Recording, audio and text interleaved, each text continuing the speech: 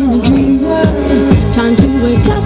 This is a scheme world. Hey, someone you're too idealistic. Time to wake up and